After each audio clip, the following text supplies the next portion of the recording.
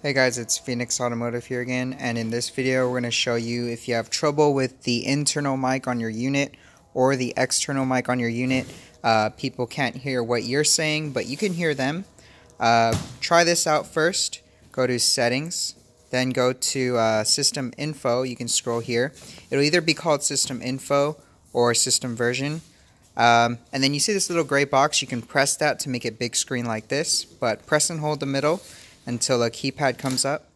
Uh, 7890 OK. And now what you want to do, go into System Settings. Some of you will have Settings or System. And scroll down until you find Elimination Parameter. Uh, the default is 220, but what you want to do is toggle between all four of these options and see which one gives you the best sound quality.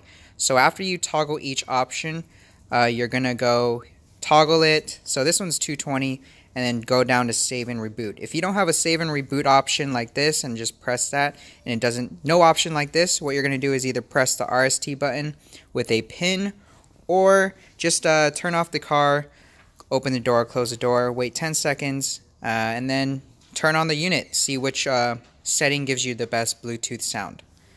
So that's how to fix Bluetooth not working really well. Um, if you have any other questions, leave them in the comments below. And yeah, I'll see you guys in the next video. Bye, guys.